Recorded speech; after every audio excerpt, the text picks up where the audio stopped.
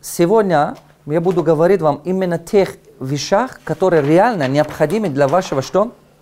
Бизнеса. Без них не обойдетесь. Описание структуры и бизнес-процессов. Это непростая штука. Описание структуры и бизнес-процессов. Внутри вашей организации, внутри вашей организации, вот это ваша организация, так? Скажем, это ваша организация. Когда вы начинаете делать бизнес, э, с одного человека делать бизнес будет тяжело, правда? В будущем может быть, в будущем можно, потому что роботы можно нанимать. Если вы хотите сам один работать, вы уже предприниматель, сам что-то делаешь и так далее. Но если ты хочешь бизнес строить, это в одиночке не строишь. Как бы ты ни хотел, в одиночке это не строится. Нужна команда, нужно понимать это и так далее. Теперь внимание. Но когда мы начинаем делать с вами бизнес, обязательно что происходит? Внутри этого бизнеса есть люди. Согласны? Есть люди. Вот она. Это люди куда-то что-то делают, куда-то двигаются. Правда? Внимание. Внутри бизнеса есть люди. А что еще есть внутри? Продукт есть. Очень много продукт двигается туда-сюда. Товар, товарные материальные запасы, сырье. Так, готовая продукция. Это все двигается. Так? Теперь, еще что двигается внутри организации? Документы. Документы двигаются. Документы. Давайте вот так их нарисуем. Вот так. Документы двигаются, правильно? Документы постоянно в движении туда-сюда, отчеты, вот документы, накладные, товарные материалы, накладные и так далее. Все они куда-то двигаются, что-то. Еще что двигается внутри? Деньги двигаются. Деньги идут туда-сюда, от клиента к нам, от нам к поставщикам, правильно? Бухгалтерии идут, там закуп идут, что-то делается. Вот она, склад товара ушло, вот она. Вы представьте, что происходит внутри, какая-то кошмар творится. А еще что происходит внутри? Налоги внутри двигаются. Это деньги же. Вот, еще внутри что происходит? Информация. Информация двигается. Если вот так нарисую, понятно, что это информация? Нормально? Вот, информация двигается внутри. Внутри организации двигается информация. Вот. И теперь кому-то, кому-то что-то вовремя не сказал, кто-то кому-то что-то не донес, кто-то что-то не понял. Так или не так? Люди же постоянно что-то говорят, что-то делают. Кто-то что-то просто не понял. Бывает же так. Кто-то да вот кого-то не донес, опоздал, не так сказал и так далее. Вот это все каша-маша внутри вашей организации. И эту кашу-машу, начало конца найти, это все вам придется свет думать. И за все это кто несет ответственность? Это вы.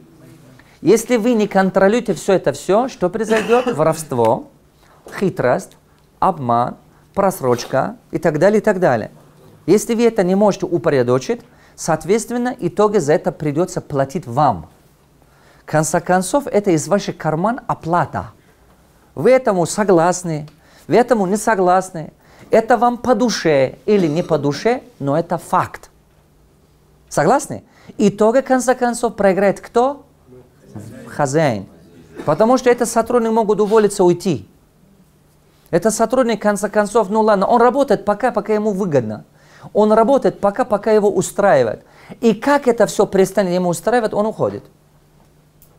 А потом это все придет на вашу голову. И вам придется это все равно платить. Кто понял? Это брак? Чей брак? Твой. А у меня к вам такой вопрос. Туалет грязный. Кто виноват за это? Руководитель. Кто понял?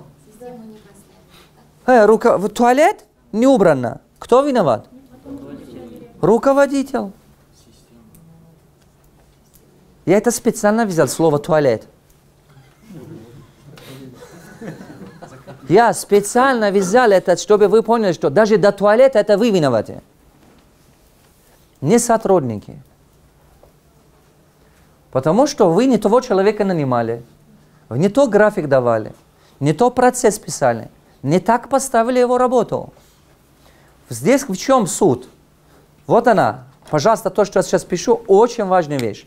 96% проблемы – это от недоработанная система. Всего 4% это человеческие факторы. А мы что делаем с вами? Мы думаем, что все является человеческий фактор, правда?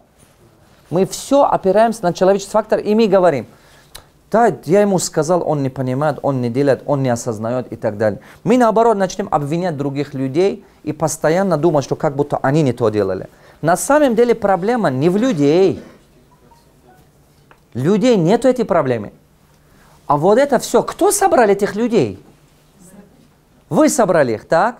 Теперь, неважно, он крутой, немой, хромой, неважно, ты его собрал. Кто понял? Он умеет, не умеет, ты его собрал. А теперь внимание. Но если ты не дашь ему, как правильно делать, тут кошмар. Тут реальный кошмар. Вот представьте, да, вот это все постоянно в движении находится. Они же на одном месте не стоят, и поэтому нужно очень грамотно и правильно бизнесе создавать хорошую структуру и хорошее, четко описывать каждый деталь, чтобы потери ушло, потери уменьшилась. Иначе дело не пойдет. А потом, когда они не то делают, мы злимся на них. Мы говорим, ты что, сам не понимаешь? У тебя что, голова или тиква, что там? Как мог так? Как мог так? Еще, еще знаете, мы орем их, кричим. Так же?